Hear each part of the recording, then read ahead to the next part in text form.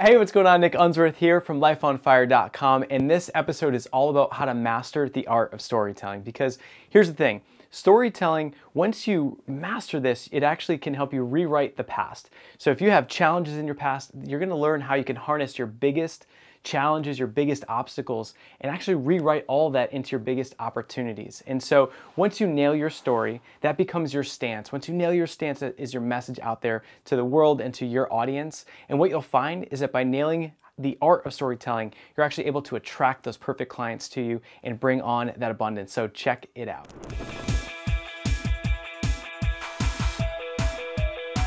Hey, what's going on? Nick Unsworth here, and I'm a kick ass business coach, and I'm on an absolute mission to help you find your purpose in life, to help you love what you do for work every single day, to help you be the rock star that you are meant to be, to make more money than you ever thought was possible, and to have more time freedom so you can actually enjoy the life that you're living. I'm here to help you set your life on fire. All right, so here's the thing. So, as I share with you details about how you can master the art of storytelling, I'm actually going to be sharing this all in a story, of course. So, here's the thing. So, for me as a business coach, I do what's called a VIP day. And what that means is I sit down with someone virtually or in person for four hours.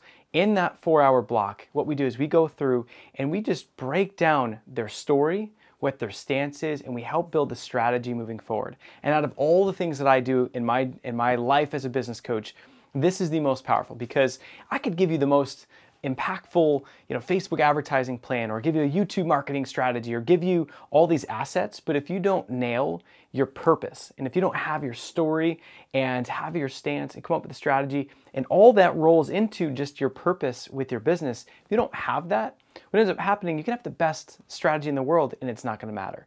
And so the thing is that I always start with story.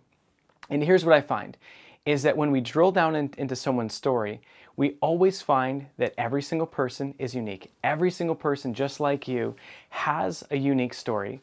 And within that story, there's all kinds of crazy challenges and crazy roadblocks. And there's more things in there that are relatable to others than you may realize.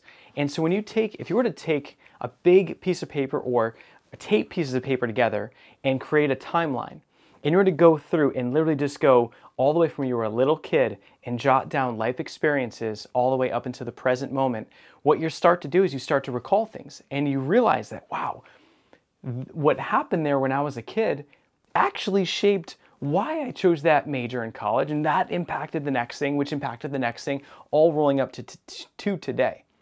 And what's so interesting is that when I'm helping an, an entrepreneur that wants to really you know, get their message out there and, and they want to help people and they want to create a, a, conscious business, then we're always looking back to the story because in the story leaves all these clues.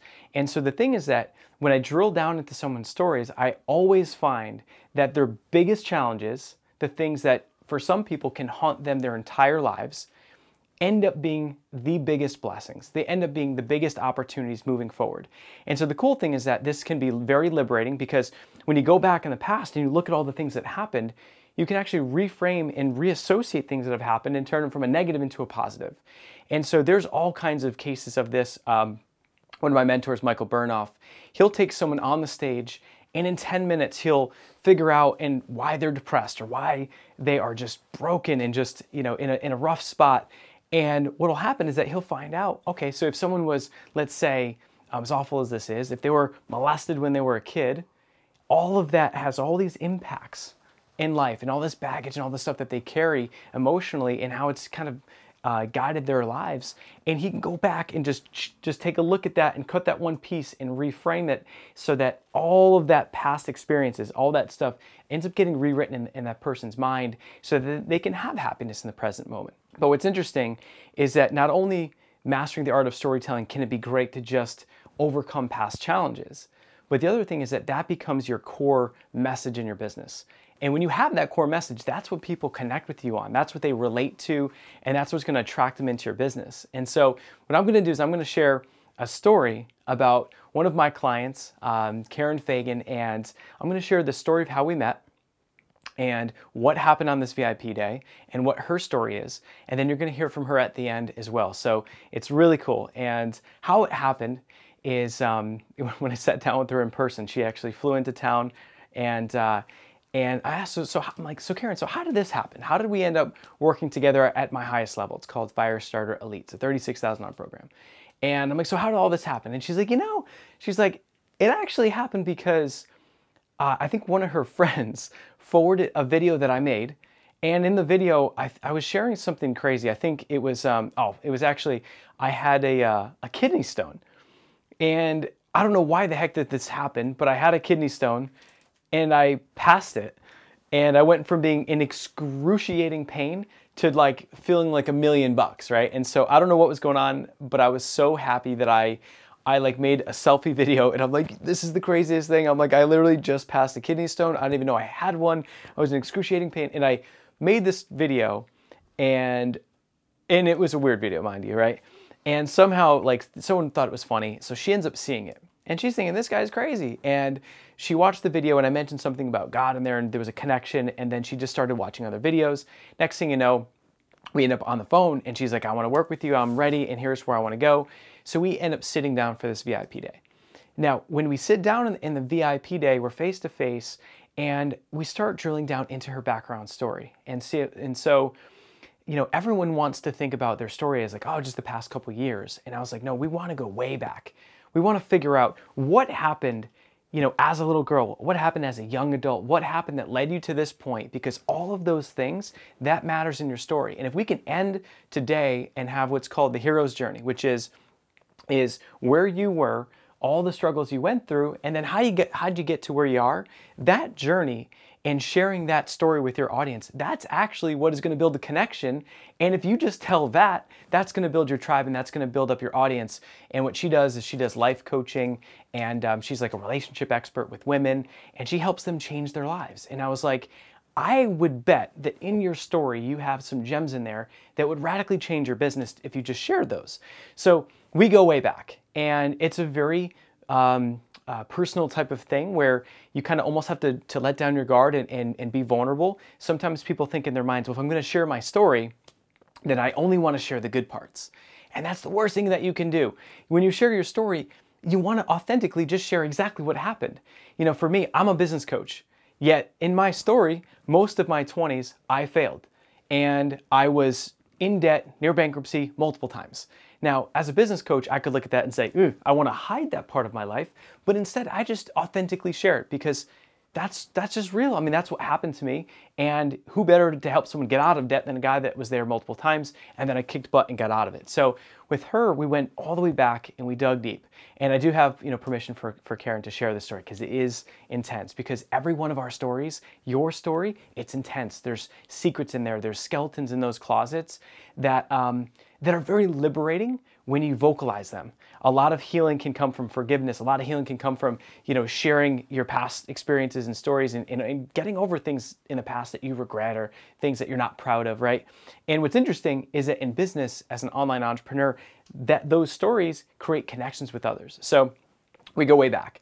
And I'm like, tell me about, you know, Karen Fagan as a little girl. You know, what, you know, what was going on? Like, what was it like growing up? And she's like, okay, okay so she's like, all right. So as a little girl, I, uh, I just I grew up and I just I just had big visions and dreams and she always thought as a little girl that she was here for a real reason. And think about you. I mean, have you ever had that experience where you just feel like you don't know what it is, but you just feel like you're meant to do something in this world, in this lifetime? Um, I know that that's what I felt when I was a kid, and yet I knew I didn't know what it was, but I just felt that calling or that prompting that it was something. And so she had that feeling inside of her had no idea what. So her her uh, parents um, were just, I mean, they were making the best decisions that they could with what they were given. And you know, turns out they were you know pretty bad alcoholics, and there just wasn't as much love and nurturing you know that a little girl like that needs. And you know, she kind of described some of these situations, and you know, gr- growing up hearing things like "you're a piece of shit," you know, and growing up hearing that, and um, and what that would do to you as a little girl or just or a little girl, a little boy, right? And just in hearing that over and over and and the parents being alcoholics and blacking out, not remembering what they're saying and things, and and so just not getting the love, and they just weren't emotionally available. And so from that situation, as a little girl, how does that impact her life moving forward? Well, it's no surprise that in high school she was attracting men and people around her that were emotionally unavailable too. And she wasn't getting that love and nurturing. And so she ended up in some bad relationships in high school and just was depressed and unhappy and you know fast forward to getting into like college and things and so just, she just wasn't happy she still knew that she was meant to do something but her parents just never believed in her and she wanted to be a dancer like a child psychologist and they just said things like you know they, they didn't think she'd ever be capable or you'd never be able to do that and so as she you know got older um, you know, she ended up again attracting people that were just emotionally unavailable. And, you know, for a woman and just hearing this, you know, from her, um, of course, I do the story no justice, but when she started to share some very, you know, um, very deep things that were, you know, uh, sharing her vulnerability on these things, you can imagine that this is, it's a big deal. So she started sharing that, you know, she was just so emotionally unavailable and so unloved that, you know, she started dating a married man and I think, you know, in that situation, that's not good for a million reasons, right? And how does she view that now? I mean, how much does she feel guilty about that and, and what have you? So she harbored a lot of guilt and a lot of like shame from that. She went from that relationship to then being in a relationship with another married man, but he had a family and she was the other woman, right? She was the other you know the the the uh, the outsider, the woman you have an affair with, right? She was that woman, and that's not a cool place to be. I mean, you know, she was dating her confidence or her self-esteem, if you will, and so she was in a bad spot, and she, you know, was depressed and, and even suicidal, and that you would call that the rock bottom. So here, in as far as storytelling goes, you know, many of us, we have journeys where it's somewhere low and then there's a, oftentimes there's a rock bottom, then somewhere there's a turning point and then there's the ascension up, ideally the ascension up. Now everyone's story is different, but um, in Karen's case, it's a nice, you know, comes up and there it crescendos, which is good. And so we start going through it and realize that, you know, she's at a spot where she was just really just at, at the end, at the rock bottom and just, just down and out and depressed and, what happened is she ended up um, getting pregnant. And what's really wild is that in that relationship with that married man, I mean, it was a very short lived, just a couple days, and she ended up getting pregnant. And it, it was at that point where, I mean, imagine all just the, the things going through your mind, like, you know, married man and all these, all these different things. And what ended up happening is that she had to make a decision. She could take the easy way out, or she could take responsibility and and make that commitment, you know, and and start a family on her own. And so she made a, the right decision. She, you know, um, took that on. You know, had her baby, and I mean, she was going to bed at 8:30 at night and waking up at 1:30 in the morning so that she could study and put herself through school and do all of these things. And she was just on fire. She ended up, you know, going to a career counselor and saying, oh, I, I want to be a life coach. And like, this is what her passion was. And thinking that there's something inside of her that she wanted to share with other people and help people. And that counselor, just like her parents when she was a little girl, said, You're, you'll never be able to do it. You know, you don't have this and that. So everyone was kept, you know, telling her no and telling her no. And so as she kept going through, she just felt like she was almost didn't have the courage to step into what she really wanted to do. And I think for many of us, I know that it took me a while to have the courage to start, you know, this business. I kept hiding. In my case, I kept hiding with business partners. That was that was an avoidance mechanism for me where I would always latch onto a business partner so I didn't have to have the full accountability. In Karen's case, she was with the wrong relationships and she, you know, was in jobs that she didn't really have to stand out. And so she knew she wanted to do something, but she kept hiding. And then from there she ends up meeting meeting a man, end up getting married, and she ends up in a situation where, you know, again, he wasn't really emotionally available. He kept saying that, you know, she wasn't gonna, he didn't really believe in what she was doing. She did start doing the life coaching and it wasn't really, you know, panning out. She wasn't making much money. And so she just had all these struggles and all these struggles. And then she invests in herself. She hires a coach, you know, 2000 bucks a month, month. And imagine for her, her, her uh, ex-husband, I mean, he did not support that decision. It was just like, you know, 2000 bucks a month. And she said to herself, if I make that decision, hire that coach, I know, and she said, I know if I just make that first payment, that everything's going to shift and everything's going to change. And she did. She made a decision and then she made it right. And so she just dove in. And that part of her story, that's a turning point where she invested in herself and then something shifted. If you saw the last episode of Life on Fire TV, episode 125 with Eric Yang, one book radically changed this dude's life. One book changed everything in his story everything shifted. And so for her, investing in herself, that shifted. She got the mentor. She started doing better with her with her life coaching business. and she started training and she ran um, started getting into her fitness and she started running and you know she ended up training and running a, uh, a less than a six minute mile and it was like one of those little things where she realized that you know if i can run a less than a six minute mile that she does have all this potential. So she started believing more and believing more but she was still hiding from her true potential. You know the husband that she had at the time kind of kept that suppressed. And then there was one day that she came home and came home and was walking down the hallway and her intuition started kicking on and she just felt this crazy eerie feeling. And she's walking down the hallway and she noticed that her husband had completely moved out and he had taken all this stuff and just completely moved out and was just gone and the only thing left was a note i mean he even took the chip out of his phone and just pff, gone and at that moment it's like uh, imagine how many thoughts would be going through your mind you come home you're like hey honey and then it's like honey?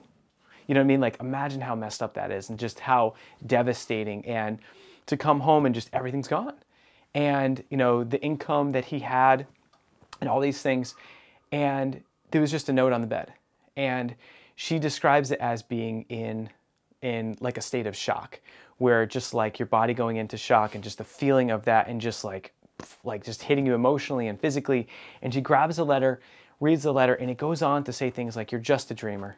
You know you're never going to do you know never going to make it in this business. You're just a dreamer and all this stuff. And again just like before when she had a decision making there's two options she, she could you know take the easy way out or she could just you know go straight at it and just um, and just build her business and grow. I mean, you could take that situation and you could let it just ruin you and be a victim. So her choice was she could take the easy way out and just be a victim, and let that situation ruin her and be a bad role model for her child and just be devastated, or she could lean into that. So her biggest challenge is also now blossoming into being her biggest opportunity, which is one of the themes for many entrepreneurs, many people like you. If you think about your story in this way, in this hero's journey, a lot of us have these turning points where then we have an upswing, right? And so it was at that at that point where she took all of this energy that was devastating and she just reframed it. And she looked at it and said, she has to do something. She has to commit, make a decision. And she spun it all around and said, you know what? I'm to prove him wrong. I'm to go out and I'm to crush this business. I'm to be a role model for my child and for women all over. And she took that note and then went on in less than 30 days in less than 30 days, she made $75,000. She doubled her prices. She went out and took on clients. She started attracting clients. $75,000 in 30 days. She absolutely crushed. She had never even made close to that. It was beyond record breaking for her.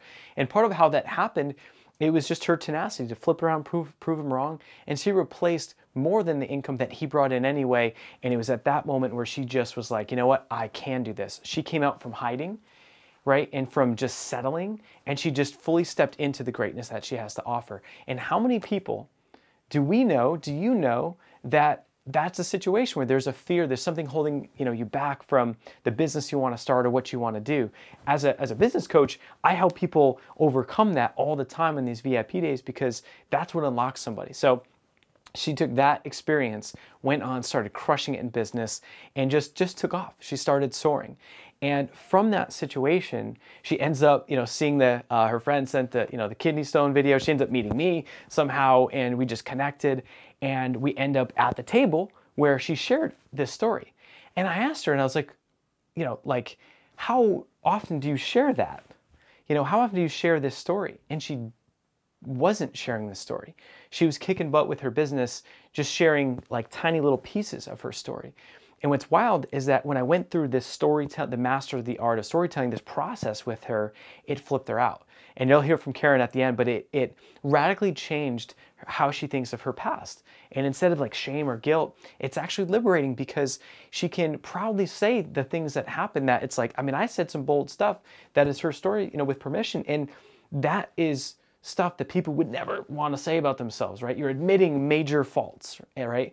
And we all have them. But for her to authentically share that story, and share the upswing and going out, making the $75,000, building a business, and now her entire business revolves around helping women and helping them just to totally grow, come out from hiding, grow their self-esteem, confidence, and crush it in business. And you know, attract the mate of their dreams, that uh, their soulmate, and someone that's going to love them for who they are, and all this good stuff. So she's doing amazing things.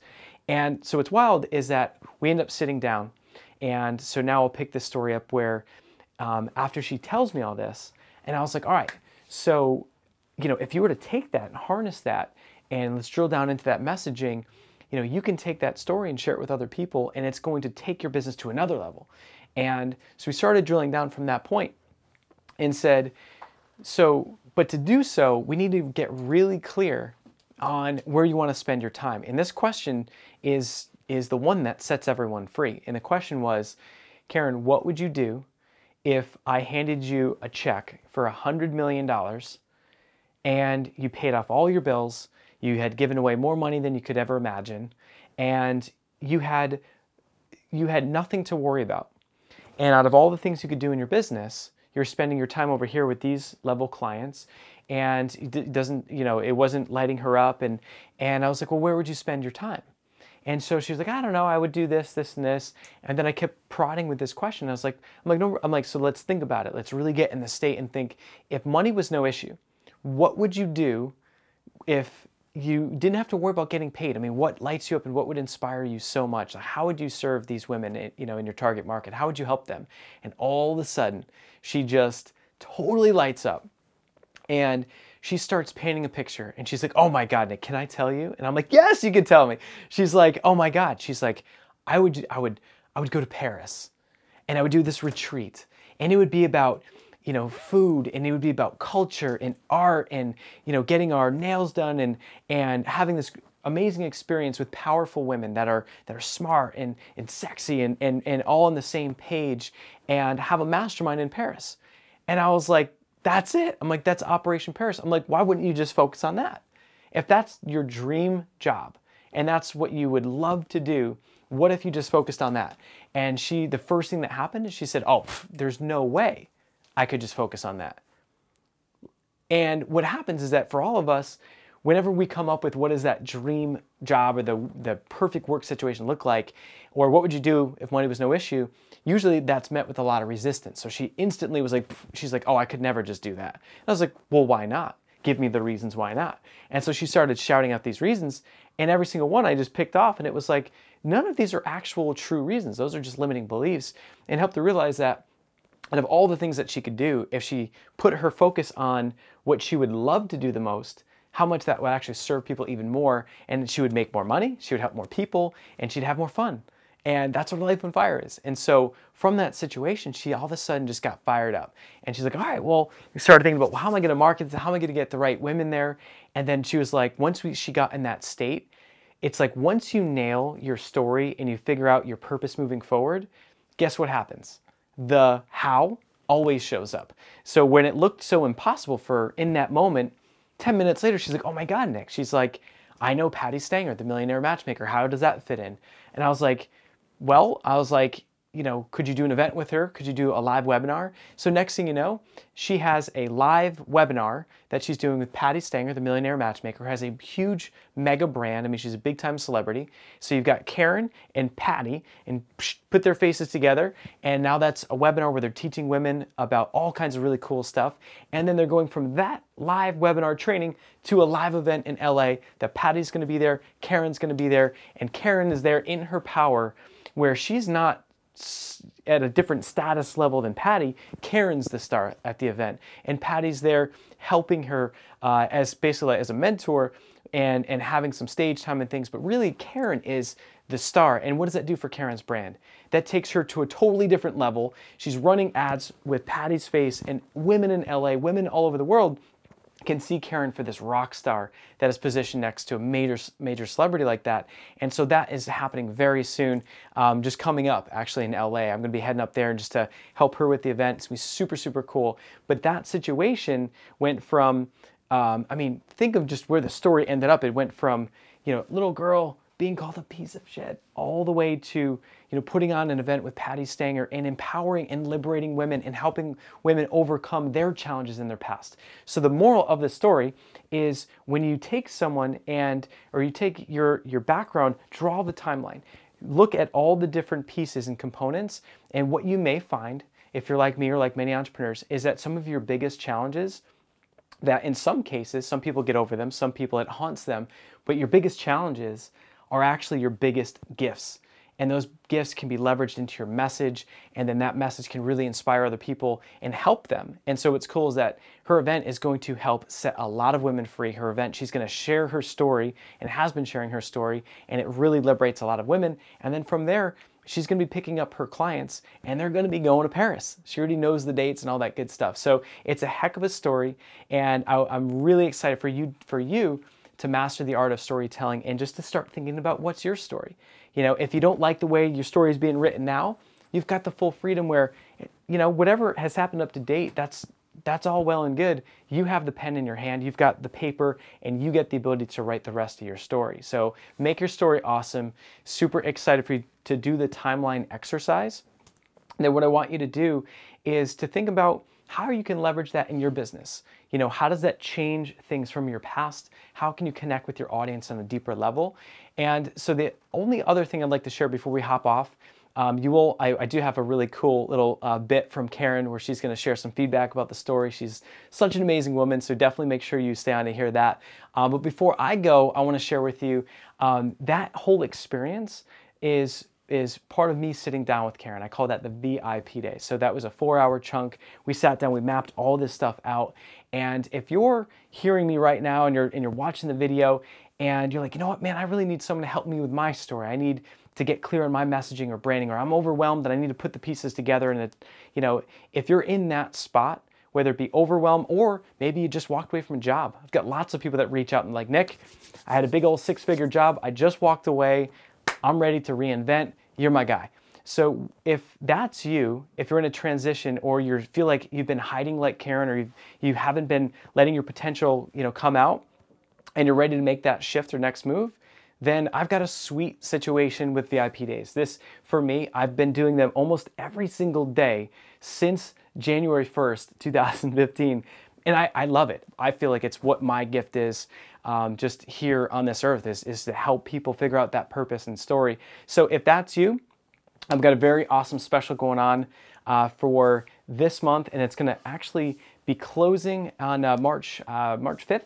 And basically, my VIP days are normally 10,000 bucks, and I'm doing a special where they're half off at 5,000 bucks. And I want to keep doing this. I want to keep creating success stories from that VIP day. So it's 5,000 bucks, and if you have an interest and you're looking at, you know what, I'm ready to make a shift. I'm ready for the next step. You know, I, I always like to say, if, it's not now, when's it going to be? So if you if that's you, then just reach out to support at lifeonfire.com. Pop in your phone number and then put in the subject line VIP Day. So just email support at lifeonfire.com and, uh, and just write VIP Day, put in your phone number, and myself or one of my trained coaches will hop on the phone and you know we'll talk about how we can help you and if it's right for you. And if it's right, I'd love to work with you. And if not, all good. I hope this session really helped about storytelling and helped clarify things. And uh, looking forward to catching up with you very soon. And now we'll roll the tape and uh, check out what Karen's got for us. Hi, everyone. It's Karen Fagan of FeelAmazingNow.com. And I want to share with you the coaching experience that I'm having with Nick Unsworth.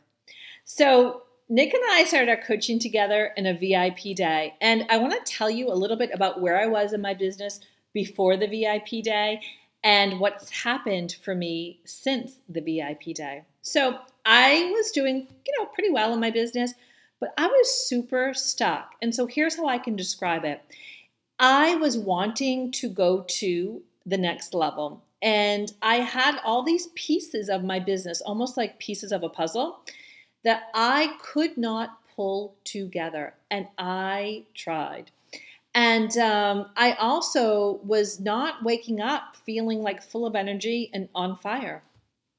And um, so Nick and I met for our VIP day, and I brought all my pieces that I could not put together. And here's what Nick helped me do. First of all, he helped me get really clear on what my dream is and um, showed me how possible it is for me to have this dream for my business. And the second thing that he did was all these pieces of the puzzle I had going on in my business. Boom, he pulled those pieces together in a solid plan. So, what we did is we mapped out a very specific 90 day plan. And so, what that's done for me is it has re energized me. I wake up feeling on fire again.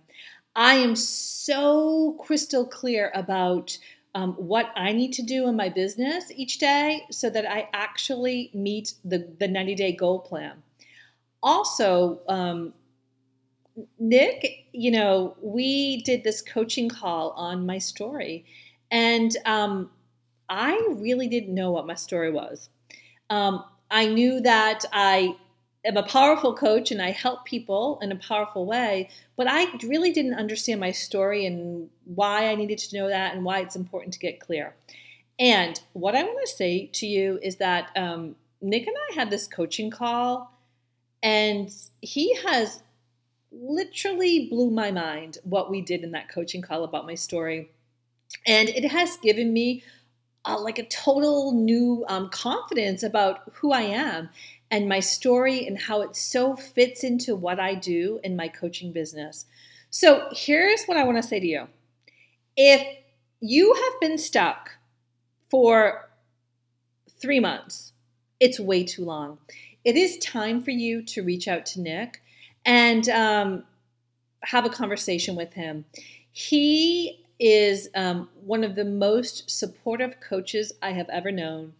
And his energy about his own business, his um, planning that he has to help you get to that place you want to go, it's brilliant. So, what I want to say to you is that for me, um, coaching with Nick, it is taking my business and my brand to a whole nother level.